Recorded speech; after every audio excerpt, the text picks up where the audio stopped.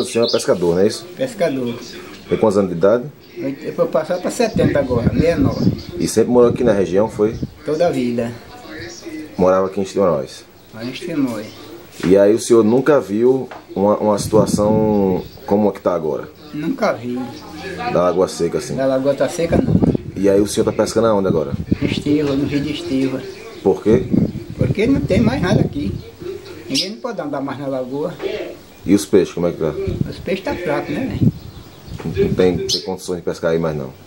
Tem condições assim, se for tirar aquela ponte que está lá na passagem, daquelas bueiras, e fizer a ponte normal que nem antigamente, compreende? Antigamente era um, um vão só.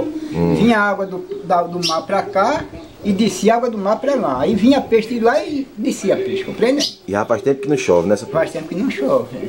Mas aí os peixes estão tudo morrendo na lama. Estão tudo na lama morrendo. E essas duas canoas que o senhor achou agora recentemente, elas já.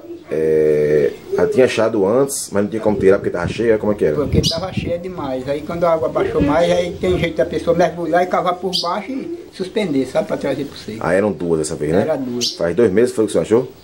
Não, faz mais tempo. Agora que foi tirada para fora, basta dos dois meses.